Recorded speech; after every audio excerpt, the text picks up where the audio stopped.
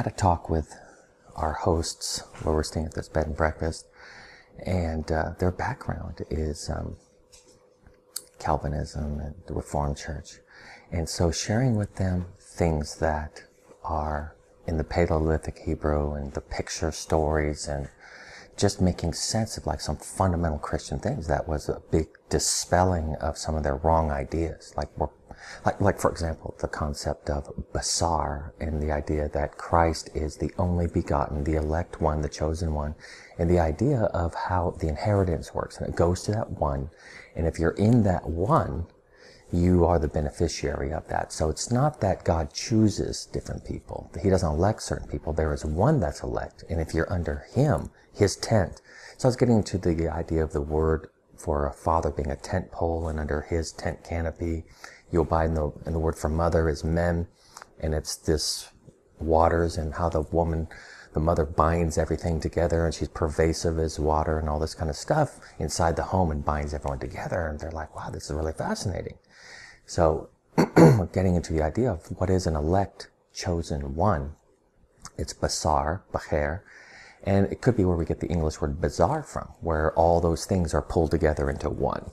And you, you are benefited by that, you know, in that thing. So if you're in Christ, you are elect chosen because you are seen with that, as that person, as that name, they're your representative, their head. And they said, well, this is all making sense. And so we're getting really into a lot of the, the Paleolithic Hebrew and the in the visual picture language and pulling together scriptures as, as this Bedouin story. It was like really getting into all the biblical pictographic story, the, the tale of what righteousness is and what Debar and what the Word of God. And it's a journey through the wilderness to the various watering holes and the green areas. And so what righteousness really looks like. And they were just really, this makes so much sense. So a lot of the stories I was bringing through the Bible was being told in these picture stories that's in the original Hebrew that Moses spoke of.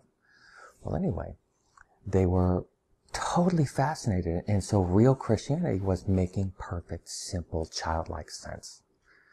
And we were getting into it where they were very profoundly touched by all of this. And they're like, you know, wow, you know, this, this, this, this is it. This is, you know, this is the, what we needed to hear. This is from God, this whole thing.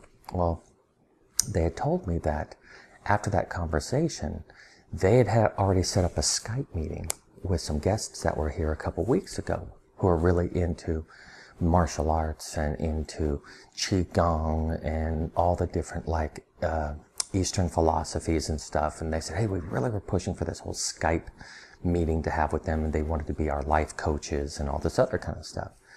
And so they said it was really weird because that was a couple weeks before that uh, talk we had.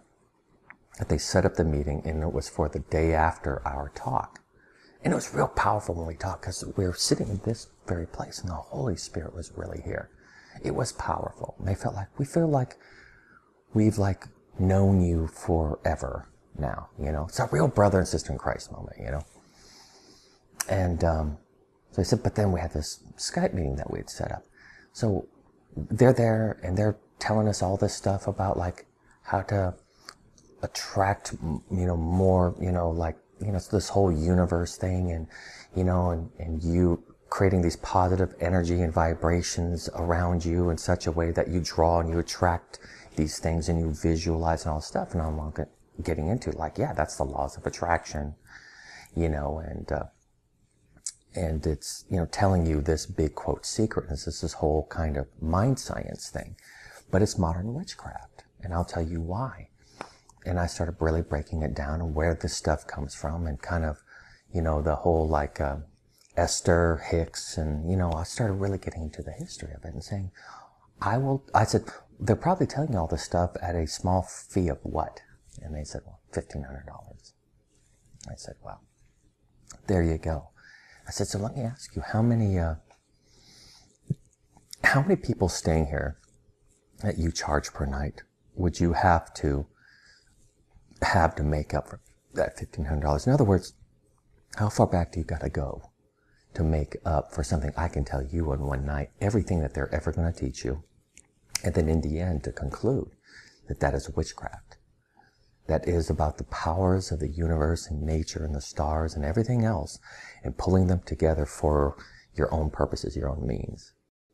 And in the end, to find out that that is not the Spirit of God. That secretly, even though it's hid behind all these benevolent kind of uh, uh, rationale, that behind it is greed and selfishness. And that's what you're going to be left with in the end. Maybe you'll get some stuff, but that stuff isn't some benign power. These are demonic forces that are doing that. And but you've lost Christ in the end because Christ, what I found out, is the ultimate treasure. You don't get things from Christ, and that's what Christianity has turned into.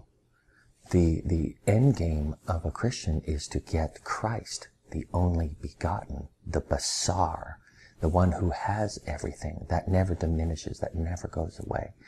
And the ultimate consummation of that is when he gives us the, the body that, and brings us into his kingdom to enjoy all of that face to face with him and in him and in that eternal reality. Christ is the treasure. Just like the name of your son, Zephaniah. The word Zephaniah means a hidden treasure revealed. And Christ is the Zephaniah. He's the hidden treasure revealed. It's not that he has treasures for us. He is that treasure. And that's the big thing. He's the only begotten. He's the Basar. He is that treasure. You know, and so, you know, I was telling them about like, you know, back when I was 19 and, you know, my dad, who's married to one of the Shrivers and all these super mega wealthy people are sitting around the dinner table. And the one guy who helped to fund Burger King to these people from England, and he had a $30,000 a month coke habit. And he's talking about how miserable he is and all of that. Well, they finally say, okay, it's time to eat dinner. We all sit at this table and all these people from these very kind of aristocratic backgrounds and, you know, all this money, you know, all this Shriver slash Kennedy slash, you know, whatever, I mean, this elitist kind of group. And we all sit down at the table and this guy who I was talking to says, Hey, David, what's your philosophy of life? And all these people went quiet. And I said, well, I do have a philosophy of life. I pretend that I went through this life, experience that you can experience, get all the things and do all the things that a person can do. And in the end, and the day that I'm going to die, I say, God, please let me go back to being 19 years old and start all over again. And then, bam, here I am. I'm 19. I got my wish.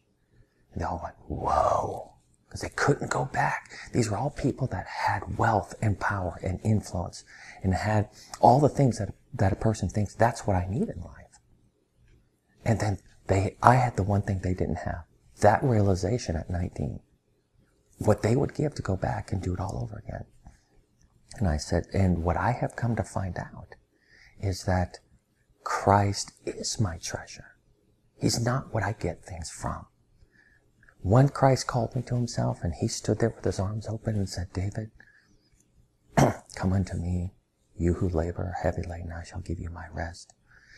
I am life. You're crossing from death into life. You're crossing from darkness to light. Come to me. I am your life. And that to me was like the realization that, that Christ is the goal. He's the treasure. I said, and, and in the end, that's what you're going to find out. And in the end, if you stood there and you realized that you forsook him only to pursue these other things, how empty that will be on that day. And that's all that has to offer you, that witchcraft. In the end, you're sitting around with your ruined things that will be destroyed when he arrives. And at that time, the only thing you're going to wish is that he was your treasure, that it was him in whom you have found your pleasure and your treasure in. And that's all I care to do is to, is to go around bringing people this treasure that is free, even though it may cost you everything that you cherish, but it's, it's free to you. You know, he's that treasure and he's the one that really, in the end, really pays out. They're just like, whoa, you know, like we are so glad we met you because we would probably have gone down that path to have these people as our life coach and everything else. And I said, as Christians, to be seduced by glitzy, well-crafted modern witchcraft. I said, what, what a tragic end. He says, what I have to give you is for free. I will never charge you anything. I'm always suspicious of preachers that are sitting there saying, hey, listen, you got to tithe while I go ahead and purchase myself a golden Mercedes Benz or something like that. I said, what I will give you will be absolutely free. This is the riches of heaven. And because I decided to pursue the riches of heaven, I've been getting the riches of heaven. These are these amazing sights and views of who Christ is and, and what his mind is and what his purpose is. And that's what I have to give. And they said, wow, well, you know, and they were actually saying to me, well, we were talking about that saying, this is, we've never heard anything like this. And we don't want to puff up your head. And I said, trust me. God breaks the vessels that he uses. He weakens the vessel. And trust me, I get weakened. You are not going to bear um, his glory and, in these truths without God making sure that you know just how mortal you are, just how vulnerable you are, just how fallible you are. And he really thins out those lines. So pride and understanding God's glory won't go together. He won't allow it, to be honest with you. So you have to be willing to embrace that. You have to really to see his glory. But these are the treasures of heaven.